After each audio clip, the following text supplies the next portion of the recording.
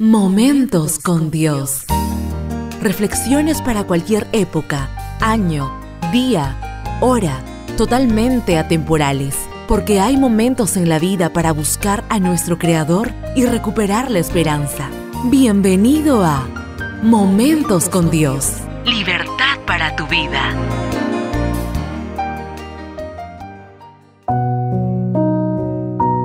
Hola te saluda tu amiga Kata y juntos compartiremos Momentos con Dios. El tema de hoy se titula Ama lo que no se puede amar. Pero ustedes que me escuchan les digo, amen a sus enemigos, hagan bien a quienes los odian, bendigan a quienes los maldicen Oren por quienes los maltratan. Lucas 6, 27, 28. A lo largo de la santa palabra de Dios, Él nos ruega que nos amemos unos a otros. Nos insta a cuidar especialmente de los niños, los enfermos, los ancianos y los menos afortunados. La Biblia dice en Mateo 25:40, De cierto os digo, que en cuanto lo hiciste a uno de estos mis hermanos más pequeños, a mí lo hicisteis. Está muy claro que Dios quiere que mostremos amor a los demás. Y no solo está hablando de nuestra familia, amigos o personas que son amables con nosotros.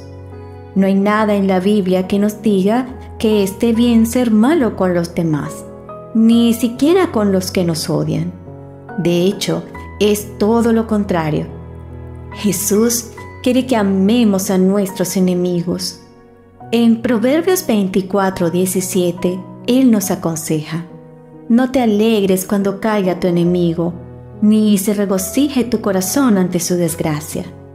Dios no quiere que disfrutemos ni un pequeño momento de placer cuando le suceden cosas malas a nuestros enemigos, ni siquiera cuando un excónyuge el que nos ha tratado en forma horrible, o un jefe que nos ha despedido injustamente, o un familiar que nos ha echado.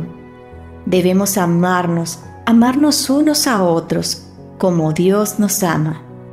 Y sí, eso significa ama a los que no son amados también.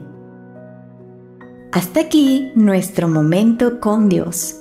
Mañana nos encontramos de nuevo. Que Dios te bendiga.